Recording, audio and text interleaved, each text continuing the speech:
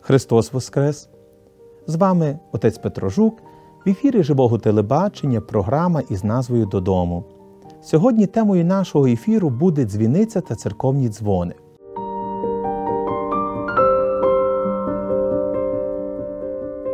Дзвіниця часто є першою спорудою, яку бачимо біля храму, оскільки в багатьох випадках її будують над вхідною брамою до церковного подвір'я.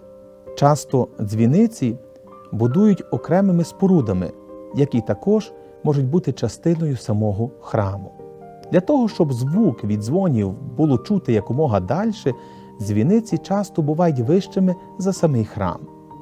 Головним елементом дзвіниці, як споруди, є дзвони. З ранніх часів християнства вірних скликали на богослужіння за допомогою різних звукових засобів. У наш час дзвони є невід'ємною частиною богослужбового життя. Дзвонять перед богослужіннями, щоб скликати вірних та під час достойно на божественній літургії. Дзвонами сповіщають про смерть і похорон когось із парафіян. Дзвонами супроводжують обходи навколо храму. Передзвін лунає протягом трьох перших днів Пасхи. Тоді, зрештою, бити в дзвони може кожен бажаючий.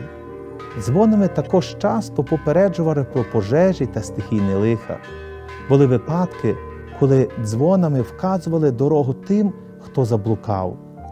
Це є досить символічно, оскільки часто ми ніби губимося в суеті нашого життя, і дзвони, які кличуть до храму, ніби вказують нам шлях до спасіння. В усі часи дзвони були і залишаються невід'ємною частиною богослужбового життя Східної церкви.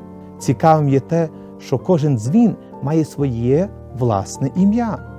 Дзвони посвячують, надаючи їм імена святих, а також відповідно, наприклад, до призначення: ранішній, боденний, постовий або суботній дзвін. Або дуже часто надаються імена тих, чиї пожертви були вкладені у велиття тих дзвонів. Найстаріший із дзвонів України, які дійшли до наших днів, є Святоюрський дзвін, вилитий майстром Яковом Скориною в 1341 році у Львові. Донині цей дзвін закликає вірних до храму святого Юра. Лунаючи вдень і вночі, і здебільшого з висоти при храмах Божих дзвони самі по собі нагадують нам слова Господа, сказані через старозавітнього пророка Ісаю. На мурах твоїх Єрусалиме я поставив сторожу, яка не замовкне ні вдень, ні вночі, нагадуючи нам про Господа.